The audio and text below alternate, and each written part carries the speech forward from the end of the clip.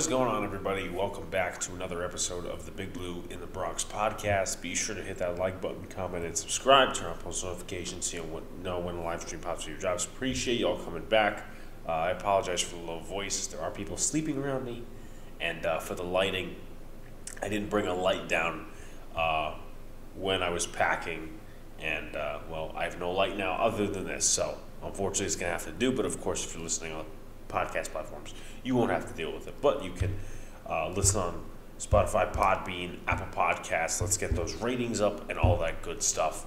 Appreciate you guys coming back. Also, share this out as well. Um, but uh, the Giants play the Eagles this weekend. It's going to be an interesting game. You know, obviously, it always is. Whether it's a blowout, whether it's a two-score game, whether it's a close game or won by a field goal, which it's you know happened like that before for the Giants. Um, and this is a game where the Giants are most likely resting their starters. So, I mean, I'll try to get through as quick as possible, but I don't want to make this a shorter podcast episode because, I mean, the 15 minutes before the interview, I mean, that just looks like you're just doing some fast food content. Like, that's not what I want to put out for you guys. But we do have a guest interview with uh, Geoffrey Knox of Inside Eagles, who is. Uh, which is the uh, FanSided for the Philadelphia Eagles. So you know, there's some stuff there, and he, he provided some great, uh, some great, I would say, I wouldn't say advice, but information, Inf- great information regarding the Eagles and some of the things coming up. But uh, we had a good discussion, so looking forward to that in the second half of the episode. Uh, but let's go to the injury report. Jon Feliciano is uh, questionable with a back injury. Dexter Lawrence will play Azeez Ojulari will not play. He is out with an ankle injury, and Leonard Williams is out with a neck injury. Adoree Jackson is doubtful with the knee injury, and Xavier McKinney is expected to play. Um, obviously, they may or may not rest guys. Uh, we don't know who they're going to rest. We can predict, but uh, that's going to be a discussion probably in the latter half of this portion of the show before the interview. But the Eagles are going all in. They want to play their guys. Um, and this is a game where they got to get the number one seed, and they could fall to as low as five. I think if they lose this game, and I don't know if they could possibly fall to three, but it's going to be interesting if they do lose this game, especially against Giants backups. But uh, a lot of the veterans for the Philadelphia Eagles actually got a lot of rest this week, so they probably are best prepared uh, for this game. But they do have some injuries. Lane Johnson is out with a groin injury. Vontae Maddox out with a toe injury. Um, Josh Sweat, he's out with a neck injury, so that's obviously going to hamper them in terms of pass rushing. Uh, Shaun Bradley, the linebacker, he's out with a wrist injury. Jalen Hurts is questionable with a right shoulder injury. Um, I think he's going to play. I think it's going to hamper his ability to run and be a mobile quarterback, which, you know, if Don Martindale is going to put a winning game plan out there, and he will, whether it's backups, whether it's starters, or you know, we could even play the game of okay, maybe try to knock him down a few times and get him hurt, not intentionally, but just like sack him a few times so you know he looks a little less comfortable in the pocket each time. Um, so overall, he won't have much mobility. At least in my opinion, he may, he may not, he may be 100%, he may not be 100%. But he's questionable with the shoulder injury. He's probably going to play. And then Janarius Robinson, he's out with an ankle injury, and uh, the rest is literally rested guys. So let's go into the uh, 2022 stats and analytics. Giants are 17th in total yards per game on offense, 26th in pass offense, 4th in rushing offense, 15th in points per game. Defensively, 24th in total yards per game, 15th in passing yards per game, 29th against the run, and 16th in points per game. Analytically, they are 28th in pass percentage, 5th in run percentage, 29th in pass percentage on first down, and 4th in run percentage on first down. They're first in blitz percentage, 5th in pressure percentage, and 15th in sacks. So, no surprises there. Obviously, they're working their way up. Only got two sacks last week, but there was a decent amount of pressure. Obviously, in my opinion, like last week's game is not a game you go off stats other than points. Uh, Daniel Jones had four touchdowns, but only had like 250 to 270 total yards. Um, the defense, I mean, yeah, they got a pick and two sacks and four quarterback hits, but for shutting down the Colts offense to 10 points, you know, it doesn't add up. So you actually have to watch the game. But Eagles offense wise, second in total yards per game, eighth in passing offense, fifth in rushing offense, third in points per game, which it will hurt this game. Uh, that Adoree Jackson is not in the game, most likely. Uh, it looks like they're going to rest him towards the playoffs, um, which is a good idea, but also you want to knock the rust off him. And I guess they're going to say, hey, listen, we'll that practice, right? So, uh, defensively, they're first in the categories of total yards per game and against the pass, 18th in rushing, uh, allowing big running plays and all that sort of stuff, and uh, they are eighth in points per game.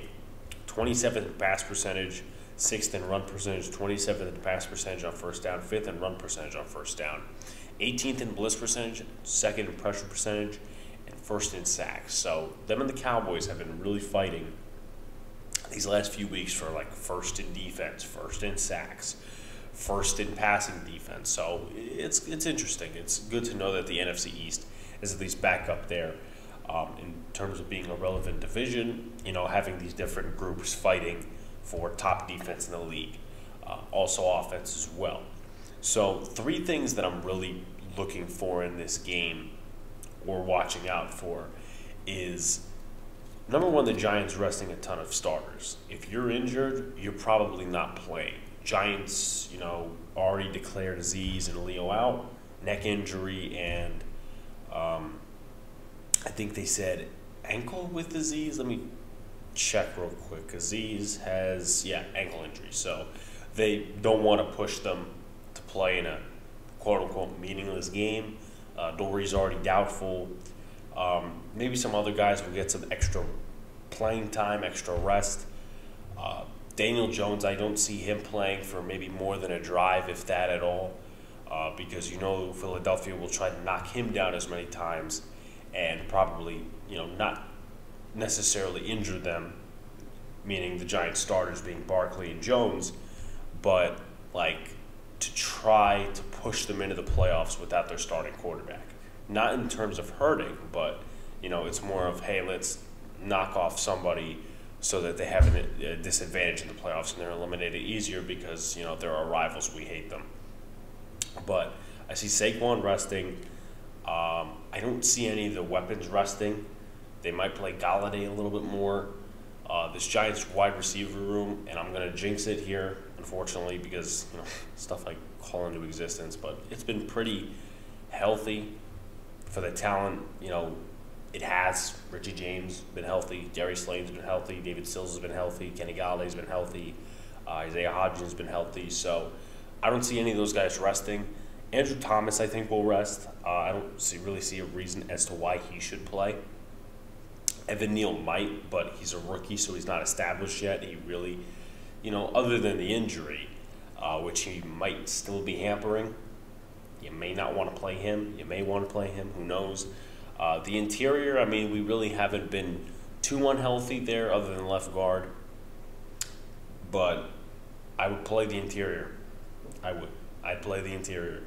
Um, in terms of the defensive side of the ball, you're going to be playing uh, Fabian Moreau. He's going to be playing either way. Same thing can be said for Nick McCloud and Cor'Dale Flott and some of the other corners that we have, not named Rodarius Williams. Uh, I think McKinney will get some burn and then he'll rest for Pinnock. And then same thing could be said maybe for Julian Love because Julian Love has been smart, tough, dependable, which is the Giants' I would say, uh, slogan for the Daboll era smart, tough, dependable. And, you know, I think a lot of Giant fans personally overrate him. Uh, I don't think he's a Pro Bowl caliber player, but I think he's had the best year of his career by far. So, um, you know, I think he could rest. I think he could rest as well. A lot of different guys we're looking for in this game. It's evaluating, but we'll talk about that towards the end. Um, in terms of the evaluation standpoint. Eagles running the ball a ton. Obviously, you know there are times where you want to throw the ball a lot. Why you know why you want to do it. what weakness you want to attack, you know, all these different things. Um, and obviously, the Eagles aren't a very, I would say, uh, frequent passing offense analytically, but when they do it, they're pretty freaking good. You know, A.J. Brown, Devonta Smith, all these different guys. But the reason I say running a ball a ton is they could easily gash this run defense. That's A. B, I mean, you're probably not going to have too many on the defensive line playing. Maybe Dexter Lawrence gets a few reps, but I wouldn't, you know, put him in there at all, to be completely honest. I wouldn't put him in there too much. And the linebackers, man, they're pretty shit. Going to be honest with you. Michael McFadden's a rookie, so you're not going to expect too much there. And even then, I don't think he's a good run defender. I don't think he's going to be that in the NFL. Uh, Jaylon Smith isn't very good. Um, let's see other linebackers we have. Landon Collins, I mean, he's been very exceptional, which is a good thing. Tony Jefferson as well, but they have limited roles. Uh, Jarrad Davis, we'll talk about evaluating because he's now a New York Giant. So, um, and even just to like take off the pressure in terms of Jalen Hurts, right? You don't want him throwing the ball a bunch of times uh, before you know anything happens, before he gets pulled, whatever. Which kind of leads into number three is Eagles pulling starters once they get a sizable lead. Um, obviously, they will pull the starters if they have enough in terms of a point differential, but at the same time, they are probably keeping in mind, hey, listen, we have a lead, and you know we need to get some guys reps because if they get the lead, um, I'm pretty sure they go and get the number one seed. Now I'm forgetting, I'm being I'm being a little, uh, I'm just my mind's all over the place, but I'm pretty sure Dallas could still end up taking the division if Philly wins. Um, but Philly might have more wins at the end of the, you know, uh, at the end of the season, at the end of the game, or whatever. So I mean, we'll see. But if it's a scenario where even if Dallas wins and you know let's just say Philly wins, and you know in that situation Philly gets number one seed, then they'll rest the starters, but they'll still evaluate some guys for the playoffs because you don't want to totally rest your guys and you know lose the number one seed or or you don't really want to um, you know just leave guys rusty. You don't want to do that. Um, we usually go over players to watch, but I'm going to go over the last game and point out some uh, very good contributors. Jalen Hurts, 21 to 31, 217 yards, two touchdowns, four sacks, 85.6 QBR, and 109.2 passer rating. Uh, Miles Sanders went off. He's dealing with an injury right now. Uh, they're not listing him on the injury report, but he is dealing with something. 17 carries, 144 yards, two touchdowns, 8.5 yards per carry. Jalen Hurts, seven carries, 77 yards and a touchdown. And Boston Scott, six carries, 33 yards and a touchdown He probably will have a touchdown this game because uh, the last few games against the Giants, you know, he just does that. He just puts it in the end zone. In terms of receiving, A.J. Brown, four receptions, 70 yards and a touchdown. Devonta Smith, five receptions, 64 yards and a touchdown.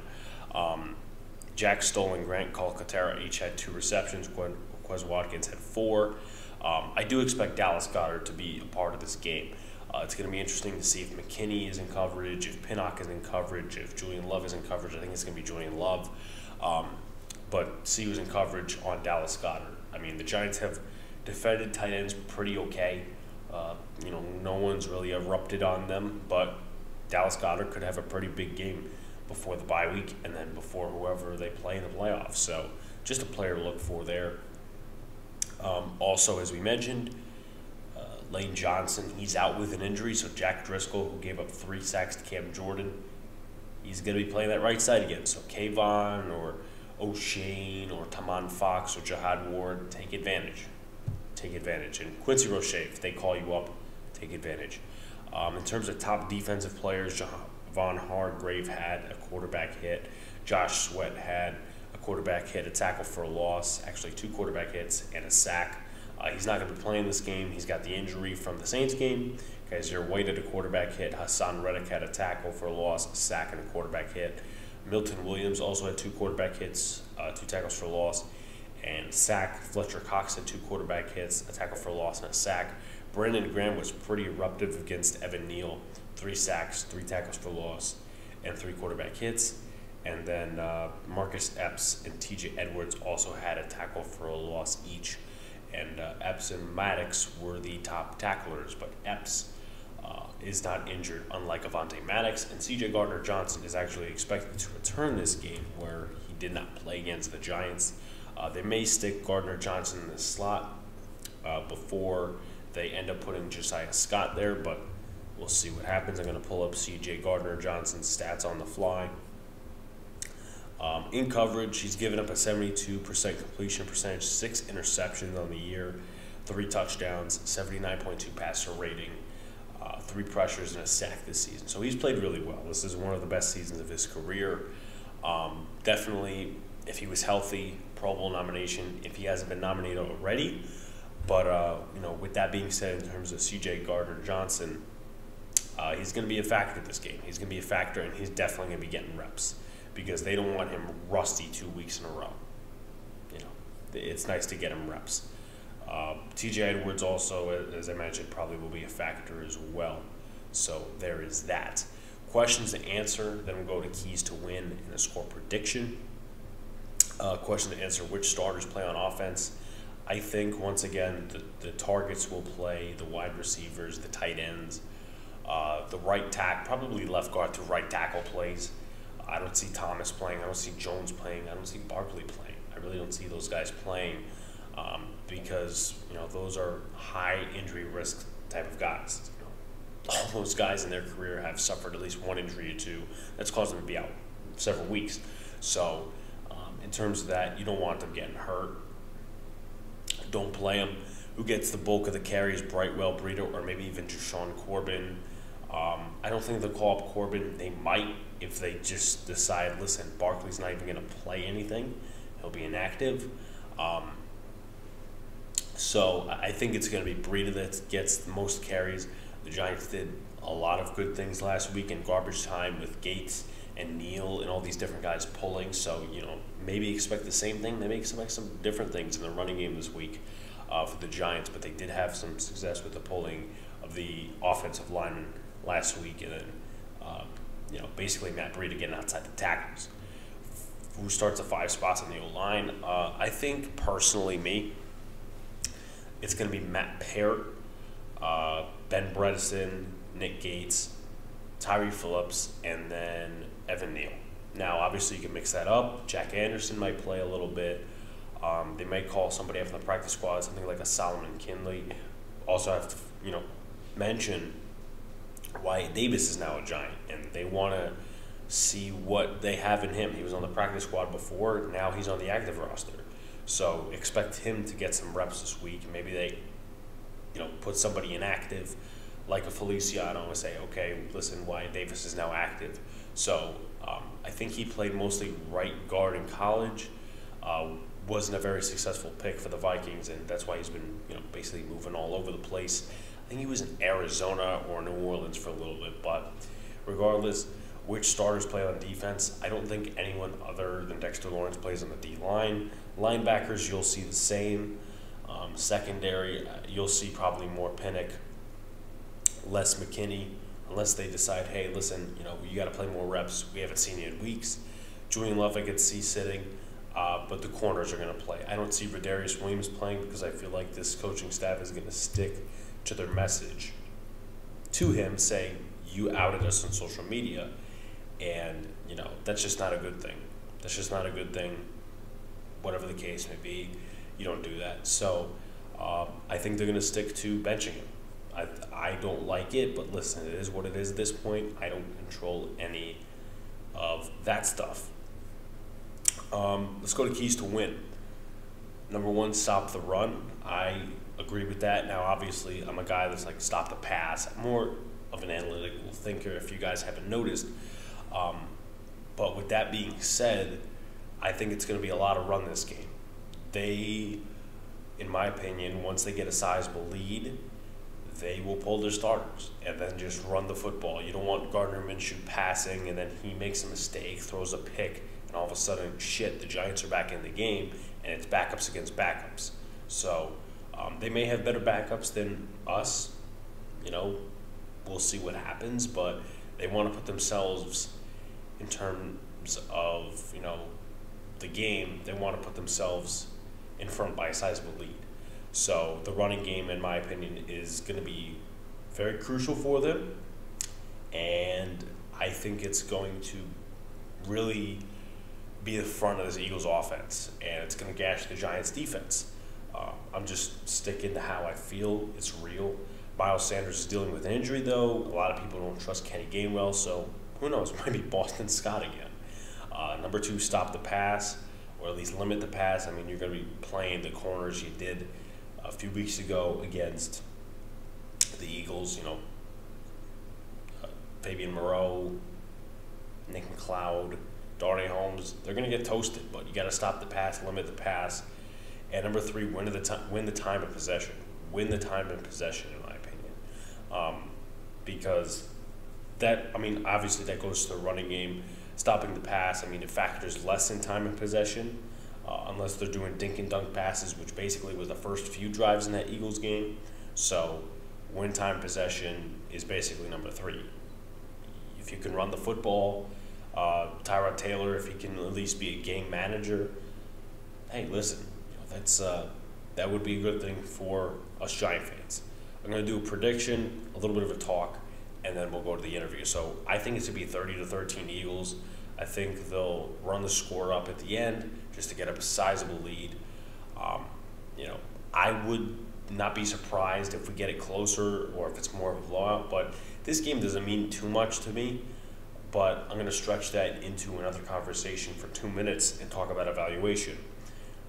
Obviously, there's going to be a ton of depth guys that may be free agents that are trying out for another team next year that are trying out for this team right now. Wyatt Davis, Jarrad Davis, um, you know, let's see who else. Tyree Phillips, right? Some of these guys aren't starters. They're not going to be playing. Some of these guys are starters, and they're free agents. Jaylon Smith may not be back next year, and this could be a game where he goes, okay, you know, I haven't played well all season, but this is where I need to step up rather than, okay, you know, in the playoffs, just show it against a good running team. Not that the Vikings, the Niners won't be good against the run, but try to create momentum for yourself going into the playoffs. That's what starters should do. Um, and even the same thing with the backups, because if Jarrad Davis does well, maybe he finds himself in a good role in the playoffs against the Vikings or the Niners or some of these other teams that are battling for the third seed. Um, but evaluation is important because I know obviously we are thinking playoffs. We are thinking, you know, maybe we can make some sort of a run. But Joe Schoen is thinking future, compete for today, build for tomorrow. If Jarrad Davis could be a part of this football team as a solid run stopper, they may value that as him as a depth piece with Darrian Beavers next year, Micah McFadden, then bringing maybe somebody over from Buffalo like a Tremaine Edmunds or a TJ Edwards or some of these linebackers or getting somebody in the draft. Depth is key. Giants don't really have depth in a lot of positions. If they do play Rodarius Williams, can he be forgiven by the coaching staff and bounce back and get an interception or two? Because he played really well in that Dallas game. I was surprised once again he didn't play in that game against Washington. You know, they put Zyon Gilbert in, which they may do again, um, like they did against the Colts and the Commanders. But you know, we'll see what happens. Uh, Ryder Anderson, Henry Mondeaux, make a name for yourself. Uh, let's see who else. Obviously, it's a dead duck with Kenny Golladay. Um, if Jashaun Corbin somehow makes it on the roster for this game, make a name for yourself, right? Um, just make the most of your opportunity and make it a good thing. Um, leave a good name for yourself on your evaluation sheet for Joe Schoen, Wyatt Davis, Jarrad Davis, uh, Jason Pinnock. If they elevate Terrell Burgess, he could be playing, you know, a decent amount of snaps. So we'll see what happens. Giants, uh, I think, going to lose this game 30 13 as mentioned. Let's go to the interview with Geoffrey Knox of Inside Eagles, which is the FanSided covering the Philadelphia Eagles. All right, so now I am with Geoffrey Knox of Inside Eagles uh, for the Eagles covering for uh, FanSided. Geoffrey, obviously, a lot of implications more for the uh, Philadelphia Eagles side in terms of the one seed coming into this game more than the Giants, who've already clinched the six seed. What are your thoughts and feelings coming into this game and riding off of a loss to the New Orleans Saints? Pretty confident. Um, not the most ideal situation. We walked into the last three weeks of the season knowing we needed to win one game, and we've lost two straight, which was apparently, from what I understand, what Gardner Minshew was supposed to prevent from happening. Didn't work out that way. Um, this most recent game uh, versus the Saints lost out on three opportunities there. We were able to, we were unable to clinch the division, which was goal number one. Goal number two then being with the one game at a time approach that we were supposed to lock up that top seed, as you mentioned, and get that first round bye, which is all important with the injuries we have. Goal number three with the with us being in ownership of the Saints' first pick in the coming draft, it would have been nice to have knocked them down a little bit and give them another loss, but things didn't go that way from a confidence perspective, I think everything will be all right. Um, as Eagles fans, we're used to these unexplainable losses at least once during the season. Miami a couple years ago um, wasn't necessarily a loss, but the 2017 campaign, which actually resulted in our first Lombardi, we had an ugly night against the uh, Raiders on Christmas. Christmas, actually, I was going to say Christmas Eve, but actually Christmas Day. But um, there tends to be a success pattern we have against versus the Giants and everything. So I walk into this one pretty confident. And um, from what I understand, as you stated, with the guys resting, uh, possibly resting your starters there, um, that means that our first string is probably looking at backup. So doesn't give us much room to brag in the case of victory, but should help us accomplish the goal we're looking for. Yeah, definitely. Uh, going into that quarterback position, uh, before we get to Gardner Minshew all these different things, uh, let's start with Jalen Hurts, uh, who's currently injured. What steps has Hurts taken to becoming a better quarterback this year alongside the weaponry the organization has upgraded this year? I was one of those people I never really doubted Hurts. There was one moment. Um, we, we saw some mechanical issues um, during those first four starts towards the end of his rookie season. Um, there were some things that just looked um, a little, for lack of a better term, not up to par but um, he worked with a throwing coach during the offseason and everything. I've never questioned Jalen from the neck up. Um, we had some questions about whether or not he can complete certain types of passes or make all the throws. Um, I went back and looked at some college film, not being an Alabama or an Oklahoma fan. that took a little while, but the only concern I think I had about Jalen coming into the season was whether or not the most impressive we've seen him look as a passer in Oklahoma came as a result of – him just lining up and playing against Big 12 defenses, which we know tend to be non existent. Um, but I trust quarterbacks who, not to throw anybody under the bus, but aren't playing Call of Duty on the iPad and aren't necessarily getting themselves in trouble off the field and things of that nature. What you show me as a mature individual off the field typically translates to what we see on the field.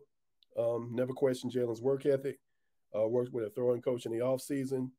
Um, make sure he spent some time with the guys who are already here to build some chemistry and some camaraderie with them. And then um, the, as you mentioned, the uh, acquisition of um, a new teammate, AJ Brown, was going to help that anyway. Um, sometimes they say phrases like system quarterbacks. I never prescribe to that. I think everybody's a system quarterback. Joe Montana was a system quarterback, for goodness sake. it was a great system. He was a great quarterback, but who isn't a system quarterback? um, when you surround these guys with great talent, great individuals, and guys who believe in them, typically that ends to, that ends the only end game there is success. And um, I'm, I'm I'm starting to see what I've always believed that he was capable of doing from day one. Next question is obviously you talked a little bit about uh, Gardner Minshew, and obviously these last two games were tough losses. Knowing that, well, you only have to win one to clinch and all do all these different things in terms of playoff implications. Uh, how has he played? Obviously, um, you mentioned that you know it's not really been up to par, and that Eagles fans and maybe people outside the organization are like, yeah, you know, Gardner Minshew, there's not going to be much of a difference, but it sounds like in terms of your tone, there has been a crucial difference between the two.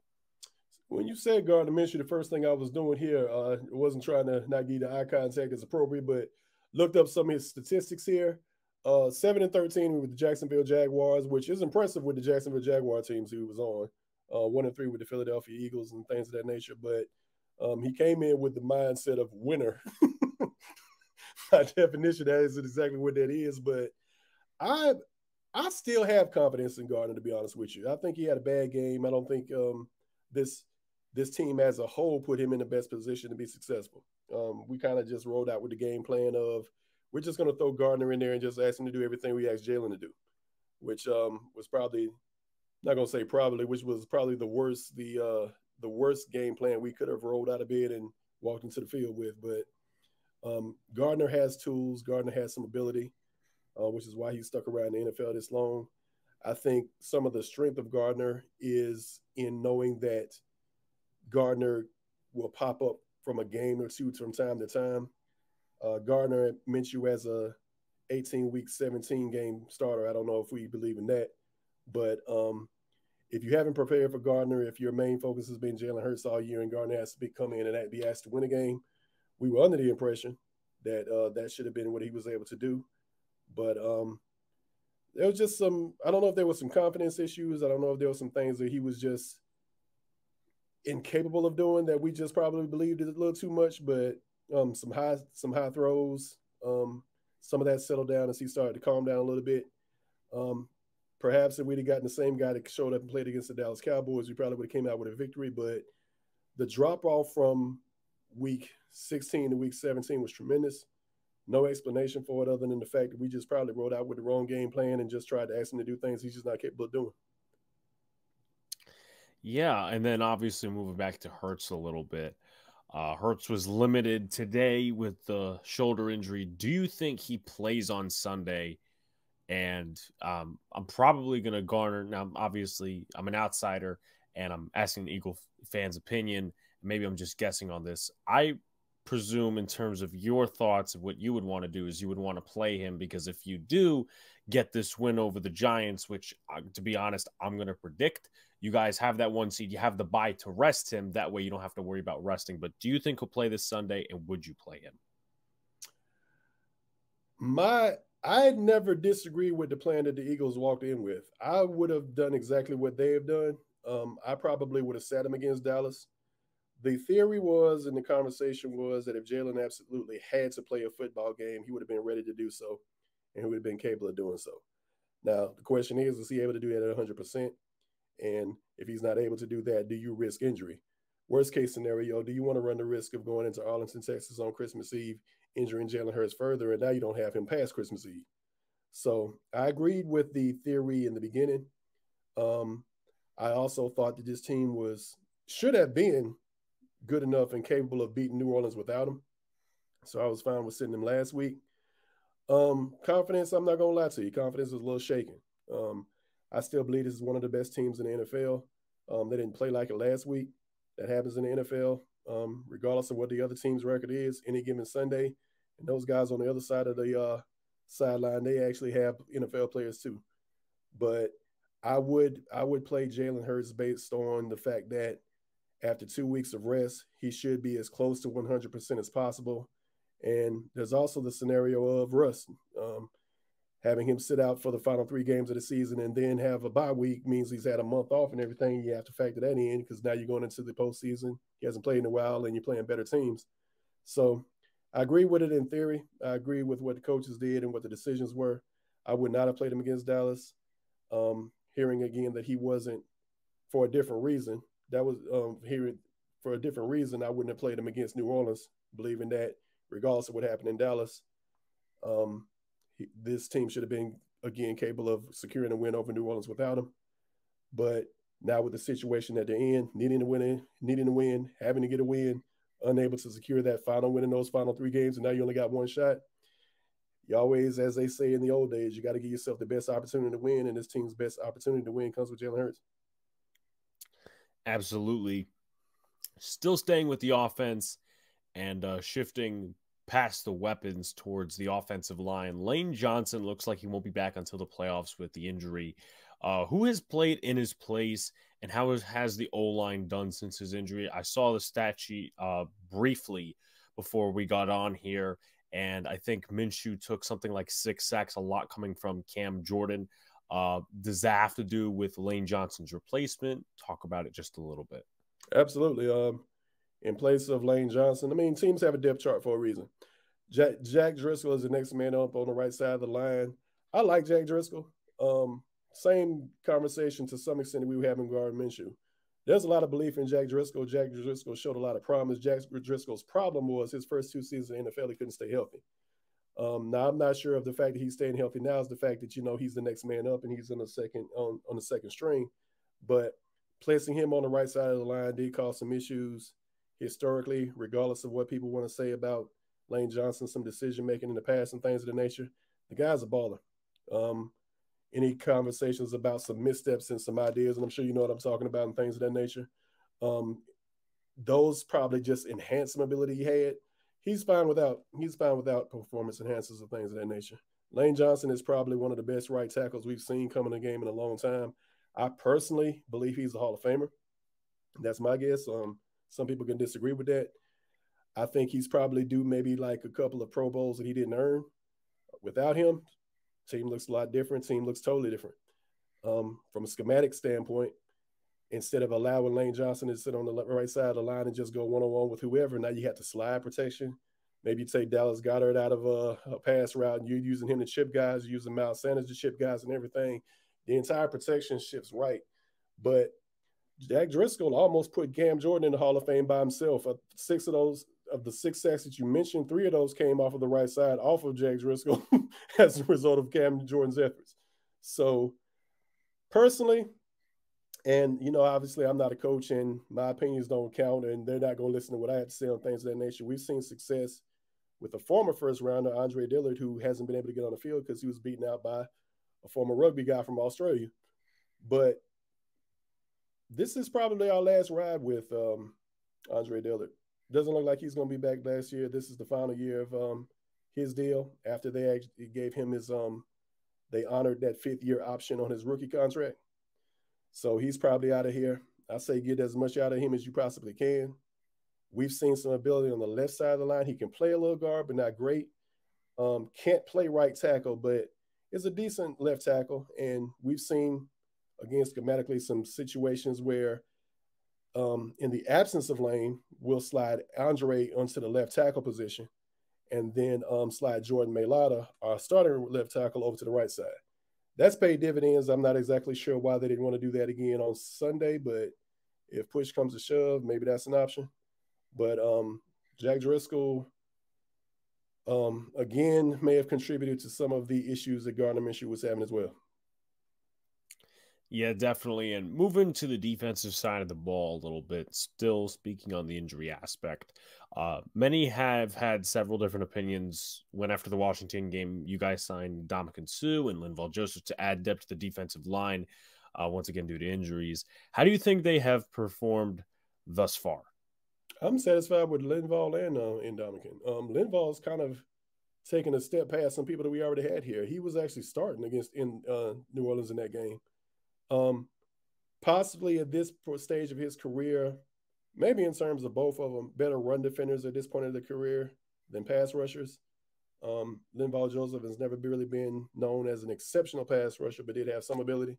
Um, and Ndamukong Suh, you know, that's really where he made his main name from. And some people have made Hall of Fame mentions about him, but they've slid in. They've been they've done it really well, which is pretty much why you saw them so early. Um, stepped right in in the Indianapolis Colts game, um, gave some quality snaps and things of that nature. But they've solidified, which is probably the uh, strength of our entire defense and our you know team in general, the interior of the defensive line. So you got um, Fletch, who is aging, but um, I think a lot of the benefit to what Linval and Ndamukong have brought is they've been able to spell guys. And because they've done so, they've actually allowed other guys to play better because they don't have to play as much. So we're looking at Fletcher Cox, who um, future Hall of Famer, but probably hasn't had the greatest of run in the last couple years. Um, he's actually had his best season from a statistical standpoint since 2018 when he had his last Pro Bowl. So seven sacks there, uh, I don't have the numbers in front of me. Somewhere between like 43 and 45 tackles and things of that nature. So their presence has actually upgraded his game, and we're seeing like um, last year's third round draft choice, Milton Williams. He's playing well, um, and he's pretty much come on as of late. Um, they're trying to figure out where to put him in the formation. He's gotten a lot of looks with Jordan Davis um, being unable to stay healthy, who I'm also excited about. but um, Milton Williams, um, four sacks for the season, things of that nature. Um, can't argue with 60 plus sacks from a team and a franchise record and possibility of breaking the 84 Bears record. So, yeah, and a lot of that is attributable to the the presence and the success that we've seen with Linval and Ndamukong. Right, and then shifting over to one more interior defensive lineman, how has Jordan Davis played since returning from injury? Well, Jordan Davis is out again. Um, he had a concussion issue, so he had the high ankle sprain and things of that nature. Um, to answer your question, I like what I see from him. Um, a lot of his job in the Jonathan Gannon scheme isn't necessarily stacking numbers and you know being impressive statistically himself. Um, a lot of what he did is what he was asked to do at Georgia: um, eat up space, create opportunities for some guys around him. He did that well. Um, still waiting on that first career sack. Um, if you look at the statistics, it probably wouldn't be um, demonstrations of what it is that I'm saying, but Jordan has some ability and has done what they've asked him to do at this point in his career. Obviously, with us having so many of our guys, uh, I think we have like 21 free agents, including Fletcher Cox, including Javon Hargrave, and things of that nature. So you're going to see a lot more of him in year two. Um, and we kind of expected that, especially with the amount of money that they had extended to some of the guys who were there. And his absence from the high ankle sprain actually led to the um, inclusion of Linval and also Ndamukong. So um, Jordan Davis, I'm happy with for what they've asked him to do. Um, I'm unhappy in the fact that we thought we'd see him a little more. Um, you can't have a top 15 draft choice playing 25 snaps a game or somewhere around 15% of the snaps for a game. But based on what they've asked him to do, he's been fine. And then he came back from the high ankle sprain and then actually, unfortunately, suffered a concussion and things of that nature. But um, looks like they're going to look to work him back in and the hope here is we just opened a 21 day practice window for Chauncey Gardner Johnson, 21 day practice window for Robert Quinn, who was kind of like um, a gamble and you're kind of pushing all the chips in and try to just make a run for it and go for it. Haven't gotten much from him. But if you can get anything from him in the postseason, that's a bonus. And um, it's probably in a position where he kind of has to perform now because with Josh Sweat being out of the lineup with injury towards the end of the game last week, and we're not sure what his um his physical state is for the postseason run. Um, probably gonna need Robert Quinn to step up a little bit, and I think he can do it. Um, kind of the same thing as Fletch with so many bodies and so many guys that can rotate on that side of the ball. Um, hopefully, keeping him fresh and hopefully the rest and the recovery time he's had since he's been out will allow him to um, at least put maybe three good games together for us. We'll see. Yeah, definitely. And you mentioned Josh Sweat, who is many of the pass rushers you guys have off the edge. Um, you mentioned there's some uncertainty about how much of a role he will have in the playoffs due to the injury. How do you think the edge will do in terms of uh, trying to replicate the production that he had and the whole D line had with him?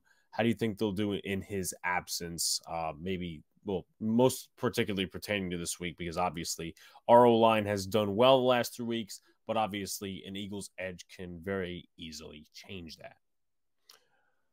We've seen them experiment with some things. Um, mentioned some of the guys on the interior, Fletcher Cox and Javon Hargrave. Uh, those guys can actually play a little edge if necessary. Probably not. They don't look like traditional edge rushers, and rightfully so because they're playing out of position. I mean, um, a lot of people take for granted that they just think you just slide a guy a couple of feet to the left, and all of a sudden he should be able to do the same things he's doing in the middle of the line, which is not the case at all. Different um, different formation, different mindset, different everything. But um, I think they're good enough. Are they as good as what we've had for the majority of the season? Probably not. Uh, worry about Robert Quinn. He's starting to look like Ryan Kerrigan 2.0 to me. But again, limited role, rotationally, three games. Maybe he can put something together for a three game stretch. That's if we lock up the um, uh, home field throughout the postseason, obviously. But um, and then the Milton Williams, so I mentioned earlier.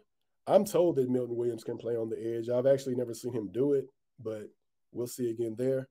But um, with the bodies they have, you have a, uh, a healthy Jordan Davis somewhere around the 350 range. You have an aggressive Ndamukong Suh, Linval Joseph, be it Javon Hargrave if you leave him there. You got Brandon Graham on the other side. May not matter who you put on the left side and in the rush. Like they'll be given opportunities just based on the fact that everybody has to spend so much attention being worried about everybody else. Yeah, definitely. And you mentioned uh, CJ Gardner Johnson before, but also uh, to dip into the cornerback room a little bit. After returning from IR, uh, Vontae Maddox is once again hurt, uh, this time with a toe injury. Uh, we mentioned how CJ is nearing return, but how did Maddox play when he was healthy? And will there be anything missing in terms of on the field if he continues to be sidelined? There's a drop off from Avonte to Josiah Scott. Um, with the CJ Gardner Johnson situation, he actually is a slot corner that we actually transition to safety. So, worst case, uh, worst case scenario, maybe you can slide him down and let him play a little slot corner, something of that nature. I'm satisfied with what we've seen from undrafted rookie Reed Blankenship. K'Von Wallace, for some reason, it looks like the light switch, the light bulb is finally going off, and things are starting to make sense to him. Um, Marcus Epps and who is our other safety, and uh, Avonte Maddox are kind of the same guy. They're really talented. They're very physical. The matchup I was most interested in seeing in the Cowboys Eagles game was Avonte Maddox versus CeeDee Lamb. Um, the injury took care of that, but I'm Epps has all the heart in the world. He'll bang with anybody. He'll stack the box. He'll he'll he'll run downhill. He'll run into somebody as hard as he can. He's just he's just small. Same thing with Avonte Maddox. Avonte Maddox has all the heart in the world, but the style of football that he plays, he, I doubt if he'll ever be able to hold up for a full 17 game schedule. But worst case scenario, hopefully he's back if we're able to make a strong run, win two games, get in the Super Bowl. Maybe he'll be back in the Super Bowl. That's not a guarantee either. But the hope here is typically, with the exception of about maybe one or two instances, we've seen guys activated to the active roster once we've seen them have their 21 day practice window open. So hopefully we get CJ back this week. If it's um, not the situation, I believe that we can win without him, and he should be good to go for the uh, division round. But um, he's he's versatile, and I'm very satisfied with CJ Gardner Johnson. I mentioned all the guys that we have to worry about looking at extensions for at the end of the season. He's actually one of those guys signed to a one year deal. But um, he's one of those guys I think we should pick up. He's actually exceeded my expectations. I knew he was good, and I knew he had a lot of talent. I just didn't realize he was going to perform as well as he did. That was a nice surprise. Moving further into game prep, two X factors for the Eagles on Sunday. One offense, one defense. Two X factors, guys that you know we're probably not thinking about that should be decent. Is what you're saying? Sure. Uh, X Factors. Uh, if we can ever try to avoid the temptation of beating ourselves and stick with the run game, like we just forget to run the ball sometimes. Like Miles Sanders isn't 100%, which has always been a knock on his career. He's played the full season this game, but um, a lot of the the lack of carry or lack lack of activity you saw from him versus the Saints was a result of a knee injury he's dealing with, and him wearing a brace on his knee. Kenneth Gainwell, I wouldn't trust in the passing game. Kenneth Gainwell has some talent. He had one carry and it went to the house. It was called back because of a bad holding penalty. But one carry scored a touchdown, and then we never gave him the ball again. So if we remember those guys on the team, Boston Scott, who I think is a lot better than we've given him credit for, for whatever reason, the ownership, for whatever reason, the coaching staff just doesn't like Boston Scott, and he's got a lot of talent there. They trust him in the kicking game, um, kick return game now. But those guys have used and used in situations where they can be successful, they can hit a home run or two. Um, defensive side of the ball, I don't know if we call him underrated anymore, but TJ TJ Edwards is he's a dog. He's a beast. And he doesn't get the attention nationally. He gets the attention from us. He gets the attention from guys who cover this game. He gets the attention from people in Philadelphia. But TJ Edwards, I think I looked this up the other day and I didn't look after Dallas or New Orleans, but I trust it is pretty consistent. Every game he's been in, he's finished top you know, one or two win tackles, or he's tied for. And on one other occasion that he didn't, I think he tied for third. So T.J. Edwards um, just has a nose for the football. He's smart. Isn't the rangiest guy. Isn't super fast, but he's game fast. So um, T.J. Edwards can cause a lot of damage in the. Um, it's not and it's consistent because we're not seeing interceptions, but he's always around the ball and he has a high pass grade um, as far as defensive coverage and things of that nature. So um, those will be the ones. Our middle linebacker, our center color on defense, and if we can trust the running game and stick with it for various points of the season, that may actually shorten the game and do what's been done to us when we've lost. Just people just hammer us with the running game. So maybe it's time we give some others a taste of uh, their own medicine. Well, I did my research on linebackers the other day because the Giants don't have any good linebackers right now, and they'll probably go into free agency of the draft. And TJ Edwards, as you mentioned, well, as you mentioned, all these different guys are free agents. I believe TJ Edwards is a free agent, so that's going to be one of the many guys. And two, well, I guess one thing I can guarantee you, uh, Geoffrey, is that uh, well, Boston Scott's probably going to have a touchdown against the Giants this game because that's always what he's good for. I think he's what nine of the 16 career touchdowns are against the Giants. But um, moving uh, towards the Giants side and game planning against the Giants, two X factors for the Giants: one on offense, one on defense, in terms of stopping different things.